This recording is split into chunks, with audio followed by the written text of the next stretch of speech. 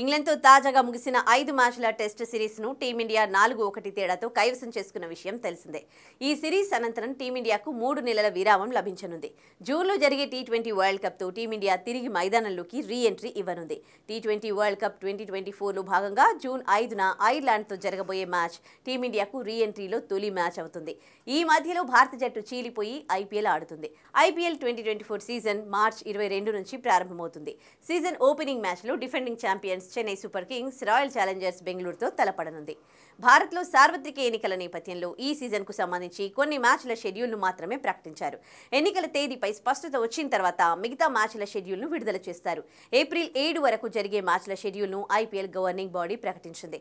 IPL నేపథ్యంలో March April May నెలల్లో అంతర్జాతీయ మ్యాచ్లు షెడ్యూల్ కాలేదు.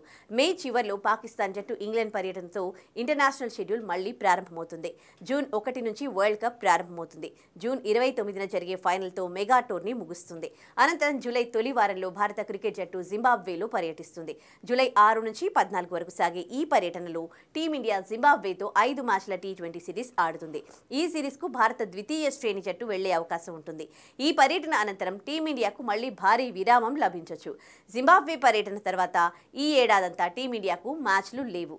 ఎఫ్టీపీ షెడ్యూల్ ప్రకారం టీమిండియా మళ్ళీ రెండు వేల ఇరవై ఐదులోనే పునర్దర్శనం ఇస్తుంది